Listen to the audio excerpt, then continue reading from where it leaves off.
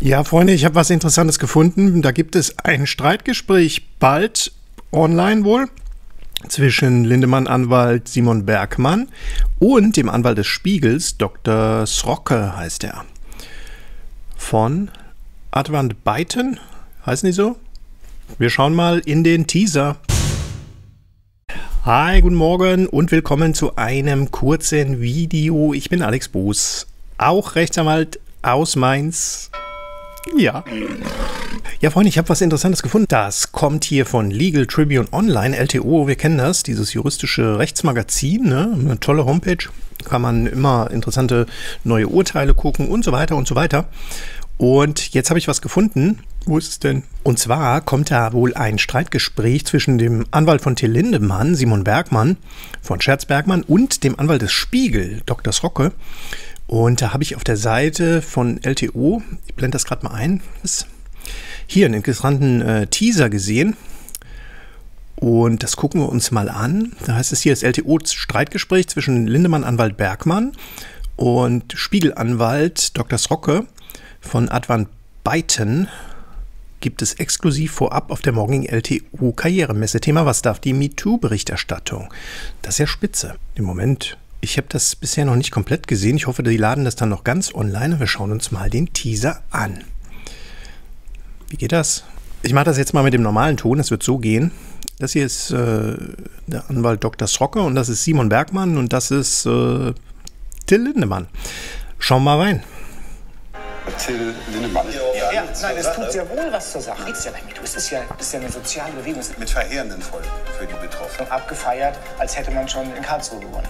Zu früh und mit zu wenig Beweistatsachen. Äh, es ist ja erlaubt, im Verdachtsstadium zu berichten. Konkret auf Mordrecher äh, zu sprechen. Wird sehr sorgfältig geprüft, ich. Genau, so ist ruiniert. Denken Sie nochmal an den Karlmann. Ich möchte ihn nicht immer wieder zitieren. Prinzipien des Presserechts nicht verstanden. Entschuldigung, ich darf einmal. Nein, nein, nein, nein, nein.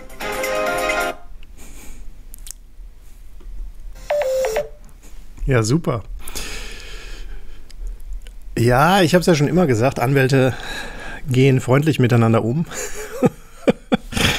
Ah, da bin ich sehr gespannt auf dieses Gespräch. Also hier geht es um Voraussetzungen, MeToo-Berichterstattung, Verdachtsberichterstattung und so weiter. Habt schon gehört, äh, ganz kontroverse Meinungen hier natürlich. Wobei ich sagen muss, der Spiegelanwalt kam mir, glaube ich, nicht so gut weg, wenn man sich die Entscheidungen anguckt, von wegen sorgfältig recherchiert und so. Hm, ja. Äh, Moment, sorgfältig geprüft, hat er gesagt, sorgfältig geprüft. Aber wer weiß, in welchem Kontext das steht. Schauen wir uns an, dann, wenn es soweit ist. Aber schauen wir mal, das ist natürlich hier zusammengeschnitten, was dabei rauskommt. Ich finde das sehr interessant.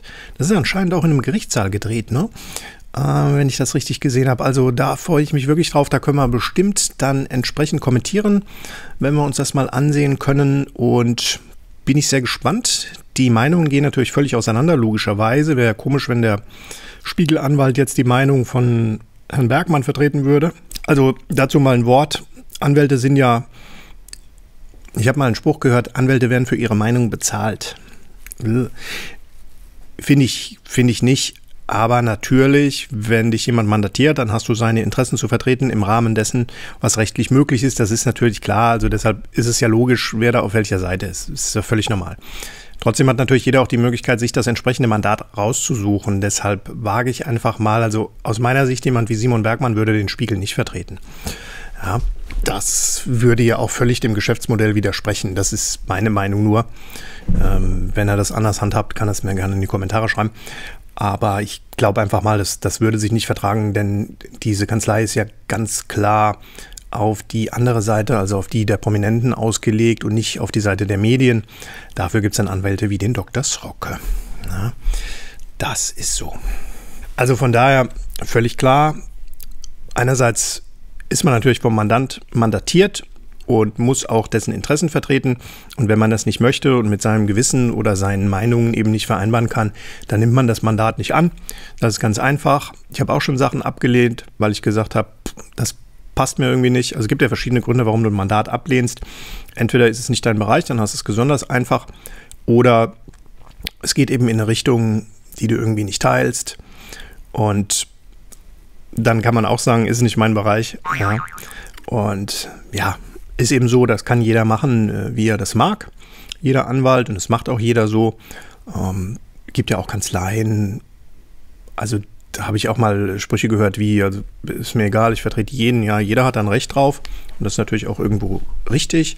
Auch eine, eine sehr gute Medienrechtskanzlei ist zum Beispiel die Kanzlei von, von Höcker, Ralf Höcker. Der hat damals Kachelmann vertreten gegen den Springer Verlag, war es, glaube ich, ja. Und hat diese riesen Entschädigung daraus geholt für ihn.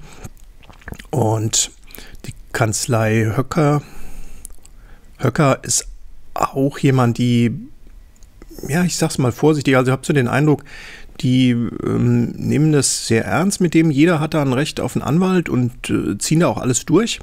Äh, Höcker hat auch äh, Erdogan vertreten, ja. Und das ist ja natürlich eine Person, wo viele vielleicht sagen, das würde ich nicht machen oder sowas. Ähm, ich persönlich würde es auch nicht machen, gerade nach den jüngsten Äußerungen, aber das ist, liegt eine Weile zurück. Und äh, die haben den vertreten und es ist auch okay, ja, kann man, kann man machen.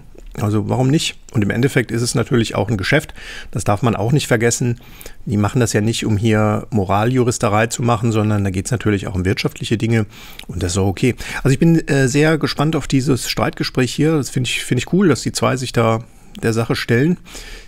Ich wage mal die Prognose, dass der Spiegelanwalt vielleicht nicht so gut wegkommt. Ich weiß es nicht. Ist nur eine Einschätzung. Also ich bin sehr gespannt. Ich ziehe mir das rein und gucken wir mal. Ich hoffe, das geht dann irgendwann online, dass wir es dass vielleicht anschauen können. Würde mich freuen. Also, bis zum nächsten Mal und ciao.